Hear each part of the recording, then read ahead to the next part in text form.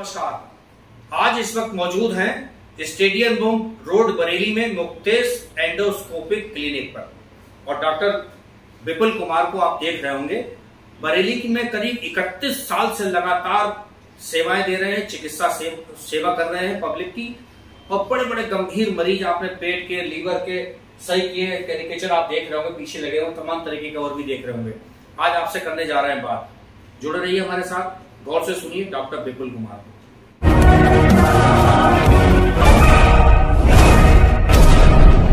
विपुल। नमस्कार दर्शकों। मेरा नाम डॉक्टर विपुल कुमार है। मैं सन इक्यानवे से यानी करीब करीब इकतीस साल से बरेली में गैस्ट्रोन्ट्रोलॉजी की सर्विसेज़ दे रहा हूँ। गैस्ट्रोन्ट्रोलॉजी का मतलब पेट और लीवर से संबंधित रोगों का इलाज करता हूँ मैं। मैं पहले शुरू के सात आठ साल केशलता अस्पताल में था। सन इक्यानवे से लेके सन निन्यानवे तक। उसके बाद मेरा अपना सेंटर है, मुक्तेश एंडोस्कोपी क्लिनिक के नाम से स्टेडियम रोड पर। मेन स्टेडियम रोड पर ही है एकता नगर एरिया में है ये। और तब से अब तक मैं हज़ारों लाखों पेट के, लिवर के सिरोसिस ऑफ़ पेशेंट के पेशेंट्स गैस्ट्रिक अल्सर के कैंसर के, इन सारे मरीजों को डायग्नोसिस और ट्रीटमेंट कर चुका हूँ। डॉक्टर साहब की मेडिकल एजुकेशन के बारे में मेरे दर्शक जानना मेरी एजुकेशन लखनऊ मेडिकल कॉलेज से हुई थी King George's Medical College Lucknow से। सन 81 बैच का हूँ मैं। सन इक्यासी में मैंने एमबीबीएस में वहाँ दाखिला लिया था। सन छियासी सन सतासी से नवासी तक मेरी एम मेडिसिन हुई थी। उसके बाद मैं कुछ दिन के लिए कुछ समय के लिए बत्रा हॉस्पिटल दिल्ली में सीनियर रेजिडेंट रहा। फिर उसके बाद जब केशलता अस्पताल खुला तो मैं केशलता अस्पताल में शुरू से ही जुड़ा हुआ था, सन इक्यानवे से। विपुल कुमार, आप पेट, लीवर, इन सब बीमारियों का इलाज करते हैं, खासतौर से पेट की। और आजकल इन दिनों पेट की दिक्कतें ही ज़्यादा बढ़ रही हैं। मरीज़ बहुत परेशान हैं, अपच हो रही है, डकार आ रही है, जलन मच रही है, नींद नहीं आ रही है, तमाम तरीके की दिक्कतें पेट की वजह से हो रही है। आप क्या कहना चाहेंगे इन सब क्या कारण क्या है? निवारण क्या आपके हिसाब से? डॉक्टर विपुल। दर्शकों, पेट की बीमारियाँ अधिकतर लाइफ स्टाइल डिसऑर्डर्स हैं। लाइफ स्टाइल में एक तो खान पान जो फ्राइड फ़ूड फास्ट फ़ूड बाहर का खाना, होटल का खाना, शादी बारात का फ्राइड फ़ूड होता है। घर में भी जो लोग ज़्यादा फ्राइड या फैटी फ़ूड मिर्च मसाले वाला ज़्यादा खाना खाते हैं, उनको पेट की बीमारियाँ ज़्यादा होती हैं। लेकिन अकेले खाने से ही नहीं है, लंबे समय तक पेट की बीमारियाँ तभी रहती हैं जब हरी भरी करी तीनों मिल जाते हैं, यानी टेंशन, मानसिक तनाव, आपसी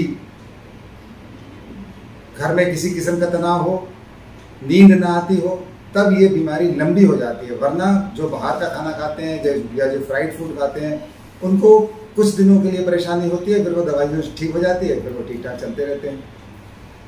अल्कोहल बहुत बड़ी एक ख़राब चीज़ है। जो कि धीरे धीरे 10-15 साल बाद लीवर को ख़राब कर देती है।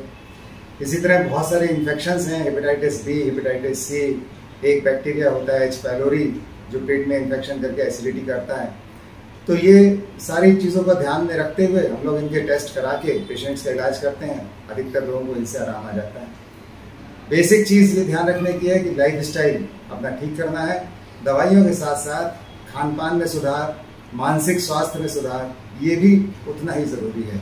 और चलना फिरना एक्सरसाइज करना योगा करना टहलना ये भी सब बहुत ज़रूरी चीज़ों में आता है। डॉक्टर साहब क्या पानी से भी कोई दिक्कतें होती? बरसात आ रही है और बहुत सी जगह नलों में पानी कुओं में लोग पानी पीते हैं क्या उससे भी कोई दिक्कत हो सकती है पेट को? जी हाँ सारे इन्फेक्शन जितने भी पेट में जाते हैं सब खाने और पानी के माध्यम से ही जाते हैं। बहुत सारे लोग जो बाहर ठेरे पे खड़े होकर जूस पीते हैं, उनको इन्फेक्शन हो जाता है। जो लोग अनट्रीटेड वाटर ले रहे हैं, यानी लोगों के घरों में आजकल सबके आरओ और मिनरल और यूवी फ़िल्टर ये सब लगे होते हैं, इसीलिए लगे होते हैं, क्योंकि पानी से बहुत इन्फेक्शन जाता है। तो ये कहाँ का पानी कितना इन्फेक्टेड है, ये कहना तो मुश्किल है, लेकिन पानी से सारे इन्फेक्शन जाते ही हैं। दर्शकों को क्या सजेशन देना चाहेंगे कि पेट की बीमारियों से ग्रसित ना हो? पेट की अधिकतर बीमारियाँ मैंने देखा है कि महिलाओं को ज़्यादा होती हैं। और महिलाओं को इसलिए ज़्यादा होती हैं, एक तो वो घर में रहती हैं, उनका निकलना कम हो पाता है एक्सरसाइज कम होती है, टहलना कम होता है। दूसरे खान पान घर में रहते रहते हो सकता है, खाना उनका ज़्यादा हो जाता हो, दिन में कई बार खा लेते हो। तीसरी बात, महिलाओं को चटपटा ज़्यादा पसंद है तो वो घी, तेल, मिर्च, मसाला, अचार, पापड़, ये सारी चीज़ें ज़्यादा खाने की कोशिश में रहते हैं। बहुत सारे लोग नहीं भी करते हैं, लेकिन कुछ लोग करते हैं।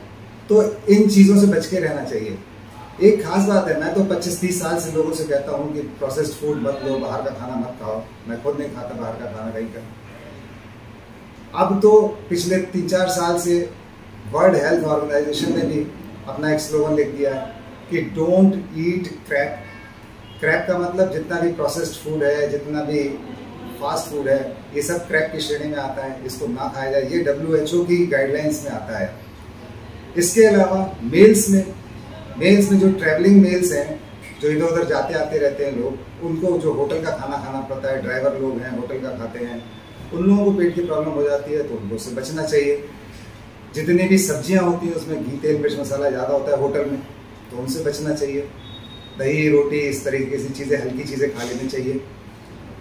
तीसरी बात जो मेल्स में खास बात है, वो है अल्कोहल स्मोकिंग स्मोकिंग सब जगह नुकसान पहुंचाता है एसिडिटी करता है, पेट में अल्सर भी करता है. अल्कोहल भी एसिडिटी करता है, पेट में अल्सर करता है, साथ में लिवर भी खराब करता है.